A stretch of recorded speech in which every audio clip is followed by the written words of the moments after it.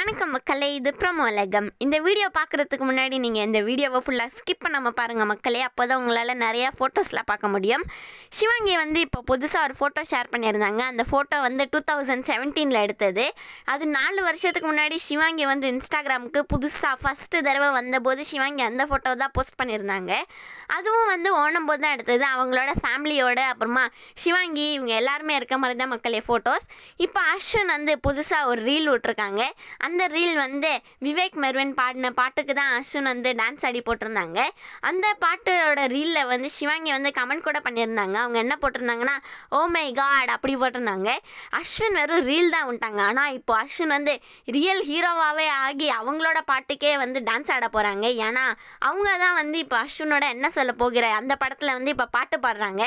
அந்த பாட்டும் ரெக்கார்ட் பண்ணிட்டு இருக்கதா சொல்லி என்ன சொல்ல போகிறாயோட படம் டைரக்டர் ஹரிஹரன் வந்து ஃபோட்டோ ஷேர் பண்ணியிருந்தாங்க. அவங்க அதோட கூட லவ்விங்னஸ்ன்னு கூட போட்டிருந்தாங்க மக்களே. அவ்வளோதான் இந்த வீடியோ முடியுது மக்களே. உங்களுக்கு இந்த வீடியோ பிடிச்சிருந்ததுன்னா மறக்காமல் லைக் பண்ணிடுங்க. சேனல் பிடிச்சிருந்ததுன்னா மறக்காமல் சப்ஸ்கிரைப் பண்ணிடுங்க.